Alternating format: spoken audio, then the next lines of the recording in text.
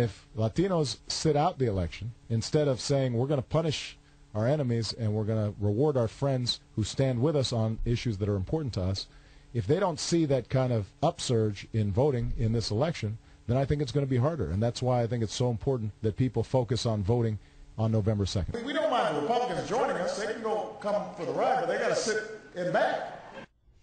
Well, an interview on a Latino radio station and a speech uh, to Democrats, President Obama, with some pointed words for Republicans. This after a National Journal interview in which he said this, quote, it's going to be important for Democrats to have a proper and appropriate sense of humility about what we can accomplish in the absence of Republican cooperation. Continuing, I think it's possible for us to be more deliberate, to spend more time building consensus. So what about the two messages as we close in on the election? We're back with the panel. Uh, Charles? I think this is how the great post-partisan, post-racial promise of Obama ends. Not with a bang or a whimper, but with a display of unbelievable presidential smallness. He isn't only urging Hispanics to punish enemies. Uh, he's criticizing Hispanics who don't. Uh, you know, and this is the man who told us, this is what propelled him into the spotlight of the country, we're not a blue America. We're not a red America. We're not a black America, Hispanic America. And now he tells us, uh, on the eve of an election, we actually are Hispanic American, Anglo American. We aren't only separate, but in a sense, we are enemies. I don't even th think he uses the word enemy in describing the president of, of Iran or Hugo Chavez, but he used it against Anglos who believe in the Arizona law. Good grief. I mean, this really is something that. I mean, people who believed in him in 08, I think, believed a lot against all evidence. I mean, this really is a man who sat in the, in the pew of Jeremiah Wright for 20 years. Some of us are suspected was not exactly the man who hovered above it all and would bring us all together the way he promised. And I think this display, even though it's pre-election, you can write it off as an as a um, extreme. I think this really is the authentic Obama, and I think it's really disappointing. I asked uh, Democratic National Committee Chairman Tim Kaine about this uh, very sentence about punishing enemies in that uh, Latino radio uh, interview. I asked him about it in a series, a couple of pieces we're doing called Closing Arguments later this week, but take a listen.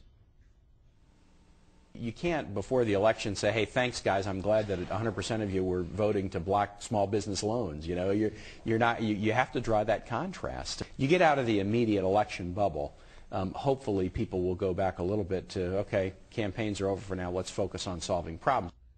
So essentially, AB, that the National Journal article was outside the immediate election bubble. On the stump, the president is seven days from an election, I guess. I think he saves some comments for interviews um, with the media and other comments for rallies where he's trying to energize the base.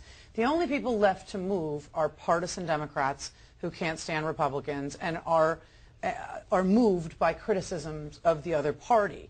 They might be disappointed in the Obama agenda. They might feel that he failed to deliver the change that they hoped for.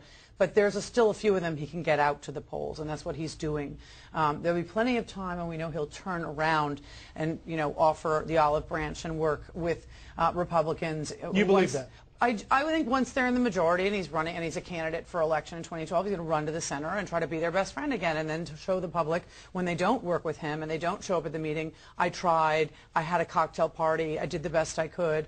What's interesting, though, is, is, this, is the uh, narrative he's setting up. He has scolded Democrats to say, if you don't show up, you'll get, you know, you'll reap what you sow, and if you, if you don't, if you don't vote Latinos, you'll never get immigration reform. And at the same time, he's also, you know, set up a narrative about the outside groups and the shadowy groups and the secret money. And so it really is, it's been forming for weeks, and that is the post-election message that the Democrats, the election was bought by secret money from the outside for uh, conservative candidates, and the Democrats lost control, and then those, you know, lame Democrats who decided not to vote also sunk the ship. Um, and, and, and, I don't know how I don't know how he, he, he threads the needle, but I expect him fully to to be humble and reach across the aisle guy. I, I, I, don't I don't really buy a lot of that. I agree with you that it's ramped up because it's seven days before the election and all the rest, but you know, not wanting to sound like an NPR executive, I think the person who really needs to consult their publicist or their psychiatrist is Obama, because we can find in uh, look at the the national the New York Times Magazine interview, which is one of these, you know, sedate, thoughtful kind of interviews, he does the same sort of stuff. We, you know, I spent all of my time concentrating on getting the policies right. We didn't spend any time on, on uh, public relations when he gave literally hundreds of speeches, press conferences. He was out there all of the time. They're putting out, out Obama out there all the time. Um, and we know that he wasn't ever, you know, if he ever believed the stuff that Charles was referring to about the post-partisanship stuff, why did it take him 18 months to invite Mitch McConnell to have a meeting with him in the Oval Office? Speaking of Mitch McConnell, last word, Charles. Also in the National Journal, uh, McConnell is quoted as saying the single most important thing we want to achieve is for President Obama to be a one-term president. Democrats are hopping all over that, saying that shows you a post-election partisan bickering continuing. No, it's realism. He understands that without control of the White House, Republicans are not going to change anything. They're not going to repeal Obamacare. And after losing on November the 2nd, Obama's not going to accomplish anything of importance because his mandate is run out. He either gets a renewal of the mandate in 2012 or not, and that's why it's so important. That's going to determine the, the future of our country, whether he gets a second a shot at liberalism or not. That is it for the panel, but stay tuned for the backstory on a big story.